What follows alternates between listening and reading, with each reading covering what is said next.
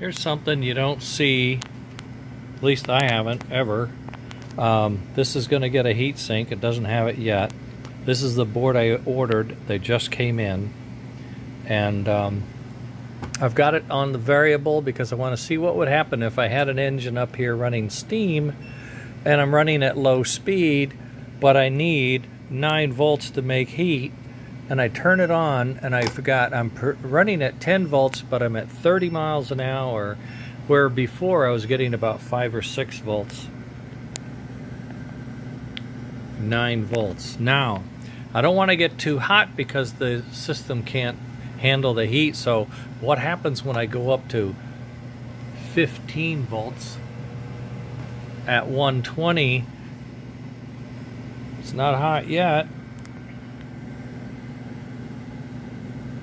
9 volts.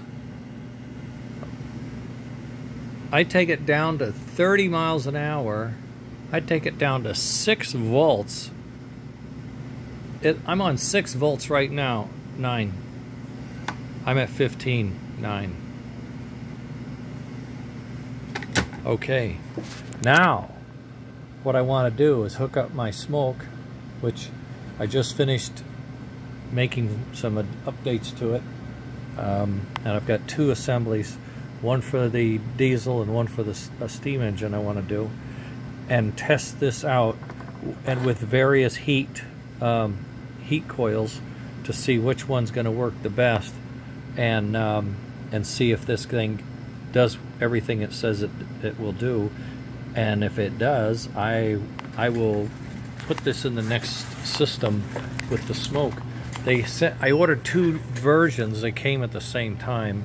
The only thing I can tell you is this is a red PC board, uh, but no heatsink, and the other one is a green PC board, and it came with a heatsink that I have to stick on that chip. So pretty exciting for me. I've been waiting for a week for this to get here. So I've got a, a it's called a buck boost.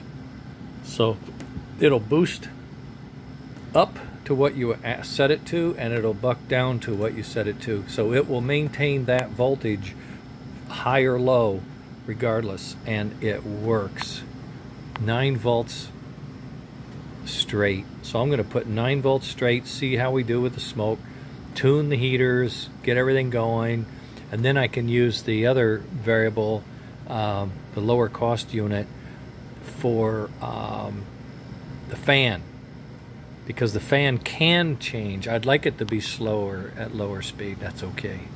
And then I think we will be ready to put this in the engine and put the engine together and and put and be done with smoke. And then I can put the sound in, blah blah blah. So excited. Right now I'm on a mad project to get this baby done. Um, a gentleman has asked to buy it and I've agreed to sell it. So I'm putting on the last of the all-wheel drive. My last part just finished printing. Way over there it's printed out, waiting for me to take it off. And I can finish his all-wheel pickup and wire this thing up and assemble it, test it, and uh, verify we're getting power at all wheels. We have eight pickups here, eight pickups there. Um, it should it should just be rock solid. I know this combination works real well. I've used it before. It's in my uh, E9 Illinois, Illinois Central. It's a beautiful chassis. A lot of work. A lot of grinding in here to narrow it at the piece and all. A lot of work uh, to get that into the uh, flyer body. But the end result, I think, is just marvelous. I can't wait to get this fired up. Uh, he didn't want smoke. That's fine. I'll put it on mine. I've still got my single drive. I may go back to magnets on the fields too. Okay, I gotta go later.